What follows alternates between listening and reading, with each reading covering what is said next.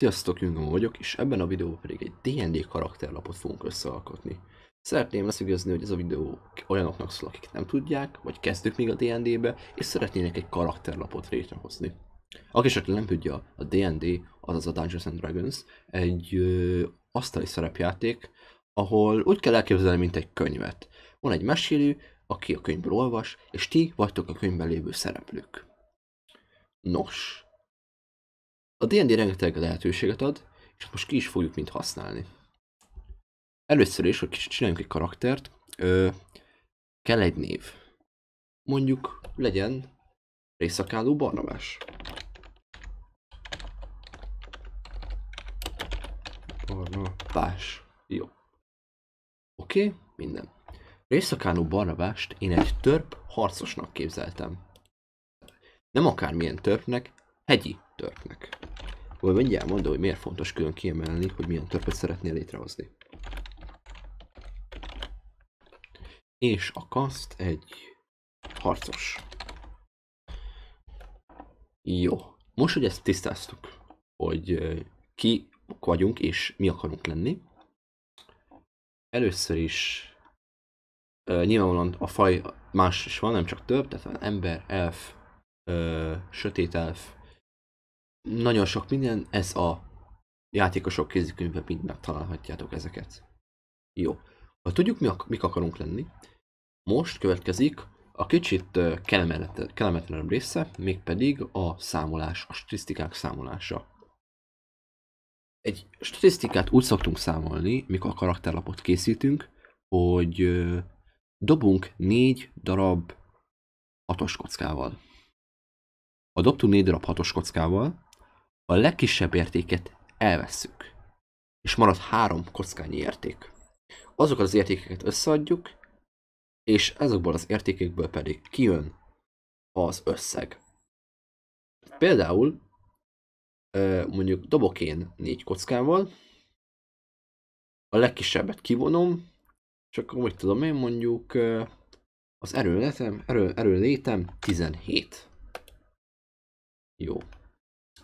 Hogyha nem akarunk dobálni, mert túl sok idő, akkor használhatjuk a könyv alapján megszabott uh, egyedi, és nem egyedi, hanem uh, kialakított számrendszert.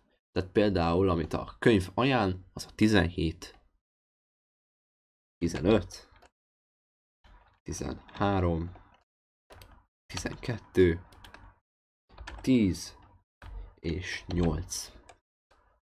Jó. Megvannak a statisztikák. De még mielőtt végeznénk statisztikákkal, először is nézzük meg a fai sajátosságokat. Minden fajnak van egyfajta sajátossága, elem, esetben a, ezen esetben pedig a törpnek is. Tehát a hegyi törpnek kettő darab erőlét és kettő darab állóképesség jut. Ezt szépen adjuk hozzá az erőléthez. 17 meg 2, az 19. 13 meg 2, az bizony 15 megvan. Beértük a faj alapokat. Most pedig a statisztikákat úgy helyezzük el, hogy a kasztunknak, vagy ahogy mi látjuk, úgy jó. Természetesen mindig a kaszt az első. Tehát ha mondjuk egy harcos törpe vagyok, értelmesebb a erőre, illetve az állóképességre helyeznem, hiszen én vagyok visszakáló Barnabás, a törpe, aki a csata hevében van és harcol az első frontvonalakon. Jó megszoktam, hogy a két legnagyobb értékem a 15, illetve a 19. De akár meg is csináltam azt, hogy átírom 17-re, és ez pedig 13-ra, hiszen még mielőtt beírnák a statisztikákat, meg tudjuk csinálni, hogy azokat a statisztikákat olyan helyre illeszünk, ami nekünk jó. Tehát mivel én harcos törpe vagyok, ezért nekem az erőlét a legjobb. Tehát nyilvánvalóan a legmagasabb értéket, azaz a 19-et, az erőlétre rakom. Ugyanúgy láttam, hogy van 15-ös számom, de azt a mozgékonyságra raktam. Én nekem meg mondjuk jobb lenne, hogyha álló képességre lenne, tehát áthelyeztem az álló képességre, és hozzáadtam azt az értéket, plusz 2-t, így lett 17. És 13-at pedig kicseréltem a mozgékonyságra. Jó. Akkor most, hogy megvannak az értékek, amik nekünk kellnek, most jön a módosító számítás. A módosítót úgy tudjuk kiszámítani, hogy az adott összegből kivonunk 10 és osztunk kettővel. Jelen esetben 19. 19-ből vagy kivonunk 10 az 9. Osztjuk kettővel, az 4,5. Igen ám, de csak is kerekített, szigorúan lefele kerekített számokkal nézünk. Tehát 4,5-ből 4 lesz, plusz 4. Jó. 13-ból kivonunk 10 az 3, osztva 2-vel az 1,5. De mivel szigorúan lefele ezért plusz 1. Mozékonyságból 17-ből 10 az 7, osztva 2-vel az 3,5. Tehát akkor 3 plusz 3, bocsánat. Intelligencia 12-ből 10. Az 2 osztva 2-vel, az megvan plusz egyszer. Bölcsesség. Bölcsességből kivonunk 10 az 0, 0 nem tudunk osztani, tehát marad 0. Karizma. 8-ból kivonunk 10 mínusz 2. Mínusz 2 osztva 2-vel, az viszont mínusz 1. Ezek, amiket most kiszámoltunk, ezek a módosítók. A módosítók azt fogják meghatározni az adott próbához, mentődobáshoz, illetve támadáshoz, milyen értékeket képvisel. Tehát mondjuk egy példát. Ha mondjuk támadok a hosszú kardommal, amit erőből használok, akkor dobok egy 20-as kockát, mondjuk egy 14-est, és ahhoz, hogy eltaláljam a lényt, dobnom kell egy 15-öst. Mivel nincsen meg, hogy eltaláljam a lényt, de viszont mivel erőlétből dobom, ezért az erő módosítót, a plusz 4-et hozzáadom a dobásomhoz, tehát 14 plusz 4 az 18. Akkor viszont már eltaláltam a lényt. Hogyha mondjuk éppenséggel meg akarunk, túl akarunk élni egy dzsungelben, akkor viszont a bölcsesség módosítókat kell használni, ami sajnos jelen esetben nulla, tehát igazából nem adunk hozzá semmit. Hogyha mondjuk meg akarunk győzni valakit arról, hogy ez a mikrofon ez jó, el akarjuk neki adni, akkor viszont a meggyőzés használjuk, ami karizma. Ami feltöltősen nem a mi előnyünk, hiszen mínusz egyes karizma van, és nem akarunk szerintem mínusz egyes karizmával dobni. Szóval ezek a módosítók befolyásolják az adott kocka dobásának értékét. Erre nagyon figyeljünk, mert ez sorsdöntő lehet, akár. Most, hogy meg vagyunk a karakterenkkel, a statisztikával, arcossal, törpével, háttért választunk. A háttér az lehet mondjuk, megvannak a játékos kézikönyvben az adott háttérek, hogy miket lehet használni, érdemes azokat használni.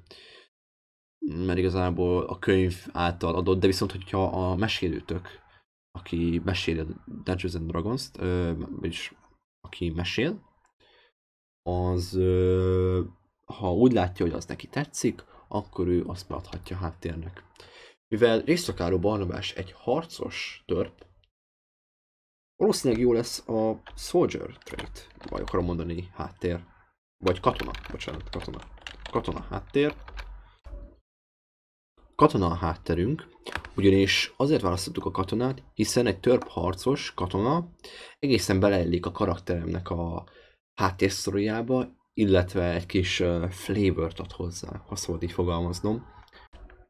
Ugyanis a katona háttér ad egyfajta bónuszokat, például ha, ha egy olyan helyről, egy katonaságból jössz éppen, akkor néha fel tudnak ismerni olyan katonák, akik találkoznak veled, illetve esetleg velük együtt szolgáltál, és esetleg ők segíthetnek például egy ideiglenes eszközöknek, lovakban, kardokban, egyéb ilyen dolgokban hogy a katona hátterünk most lesz izgalmas, ugyanis a katona hátterünk ad a atlétikára és a megfélemlítésre. Ez azért kell fontos, mert most következnek a képzettségek.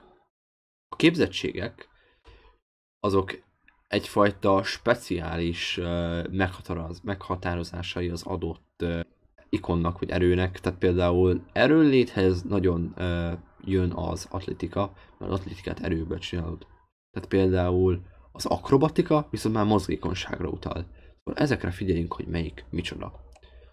A katona háttér nekünk ad megtévesztés, meg, nem bocsánat, megfélemlítést, mondjuk írok ide egy számot, megfélemlítés, illetve illetve atlétikára valamivel jelezzük, hogy nekünk az bónusz. Így van. A katona háttér sztori miatt ezekre a kettőre kaptunk jártasságot.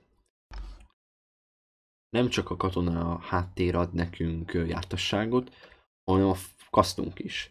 Tehát például a harcos az ad nekünk különböző, a választható, nem is tudom, kettő darab választható, hat darab dolog, vagyis jártasság közül. Például akrobatika, állatok közelése, atlétika, történelem, megfélemlítés, megérzés és túlélés között. Szóval ezek közül kiválasztjuk, ami gondoljuk, hogy nekünk fontos. Én azt mondom, hogy Barnabásnak fontos a túlélés, ezért belőlem, hogy én a túlélés választom. Valamint én úgy gondolom, hogy Barnabás rendkívül jó meggyőzéssel rendelkezik, szóval oda is rakok egy egyest. Nem, tudjátok, nem is meggyőzésre, megérzésre. Ugyanis érzi a veszélyt, így eszem már egy jártas katona, ő már tudja, hogy mikor kell, mire számítani. Jó. Most, hogy meg vagyunk ezzel. Ide, most, hogy kijelöltük a jártasságunkat, vagy képzettségünket, ö, atlétika alap, alapvetően erőből jön, viszont azért kellett kijelölnünk, hogy ebbe képzettek vagyunk, hiszen akkor hozzáadjuk a képzettségmódosítónkat, azaz a jártassági bónuszt, ami ilyen esetben plusz 2 lesz. Úgyhogy szemben minden egyes kasznak level 1-esen plusz 2 a jártassági bónusza. De ezt a játékosok kézikönyvben meg is találhatjátok. Plusz 2 jártassági bónusz. Atlétika erőből megy. Atlétika pl- erője plusz 4, mivel jártasak vagyunk atlétikába, ez hozzáadjuk a plusz 2-t. Tehát abból lesz plusz 6.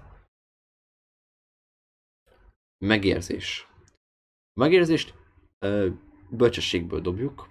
Hát mivel bölcsességből nem vagyunk jártasak, és bölcsességből nincsen jó értékünk, csak a plusz 2, ezért a plusz 2-t írjuk be, hiszen képzettek vagyunk benne. A megfélemlítés, a megfélemlítés az például karizma kell nekünk a megfélemlítéshez. A karizmánk az mínusz egyes, tehát nem a legjobb, nem a legjobb. Tehát nem vagyunk annyira ijesztőek, így is lehetne mondani. A játásak vagyunk megfélemlítésbe. Mínusz egyhez hozzáadunk plusz kettőt, az plusz egy. Nem a legjobb, de legalább nem mínusz, az a lényeg. Valamint a túlélésünk, ami szintén bölcsességből megy. Hát azt mondanám, hogy túlélés sem egy, ö, hogy is mondjam, abban sem vagyunk jók, hiszen az is bölcsesség kell, hogy túléljünk valahol. Szóval az is csak plusz kettőt tudok hozzáadni. És beírtuk az adott képzettségeket, amiket tud ajánl nekünk a kaszt, illetve a háttér.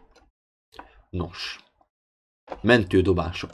Mentődobásokból is lehetünk jártasak, hiszen minden egyes kasznak megvan az adott dolga, hogy miben jártas. Varázsónak például állóképesség, intelligencia, jelenleg nekünk a harcosnak állóképesség és erőlét. Jártas vagyunk, tehát akkor belőlük, hogy ebbe a kettőbe jártasak vagyunk. Erőlétünk plusz 4, meg 2 az plusz 6. Állóképességünk plusz 4, plusz jártassági bónusz, azaz plusz 2. Akarom mondani, bocsánat, 3 meg 2 az plusz 5. Hiszen az álló képesség a plusz 3, nem pedig a erőlét pedig plusz 4. Jó. Ezek a mentődobások. Mentődobások majd arra kellenek, amikor talmas nagy ogre földhöz akar teperni. Ahhoz, hogy engem földhöz teperjen, nekem egy álló képességet kell dobnom, hogy ö, meg tudom magam tartani az ogréval szemben. Hogyha sikerül, akkor az ogre nem tud engem a földhöz szorítani. De viszont, hogyha nem sikerül, akkor az ogre bizony földhöz fog szorítani, és eléggé kellemetlen helyzetbe leszek. Jó. Következő. Sebesség. Általában minden karakter 30 lábat tud mozogni. Ez körülbelül olyan 15 méter, most nagyon durván fogalmazok, mert nem tudom. Én beírtam egy-két fegyvert, egy kézi fejszét, valamint egy kovaköves pisztolyt. Kézi fejszínek 1D6, a flintlock pisztolynak pedig 1D8 a sebzése. A támadási bónusz azt akkor kell használni, amikor egy 20-as kockával dobunk, és arra dobunk, hogy el tudjuk-e találni az adott ellenfelet. Mivel jártasak vagyunk törpként a kézi fejszébe, hiszen harcosok vagyunk, és a harcosok általában jártasak a hadifegyverekkel, a, mint a bonyolultabb fegyverekkel, nem a szimpla, hanem a kombináltabb fegyverekkel. De mindegy, tehát az a lényeg, hogy jártasak vagyunk vele, és a handaxot, azaz a kézi fejszét erőből dobjuk. Tehát plusz 4, meg jártassági bónusz, az plusz 6. Tehát ha dobunk egy 10-est a 20-as kockával, akkor bizony 16-ot fogunk dobni. És akkor csak eltaláljuk, nem? Remélhetőleg ilyen. Flintlock pisztoly. Pisztolyokat, íjakat mindig mozgékonyságból nyomunk. Ez így van, sajnos nem tudok így mondani, mivel mozgékonyságunk plusz egyes, de viszont jártasságunk van benne, ezért egy plusz kettő, azaz plusz három. Dobok egy tízest, plusz három, az 13 lesz. Ez kulcsfontosságú, hogy el akarjuk találni a szemét, de hogy úgy járjuk, hogy nem csinálunk semmit, csak ott vagyunk. Sebzés típus. Nyilvánvalóan tudjuk, hogy a kézifejsze az vágó sebzés okoz. A pisztolyt meg szúró. Ezt szerintem nem kell elmondani, de hogyha bajunk van vele, akkor nyugodtan beírhatjuk oda. Fontos, amit odaírjunk, a bónusz.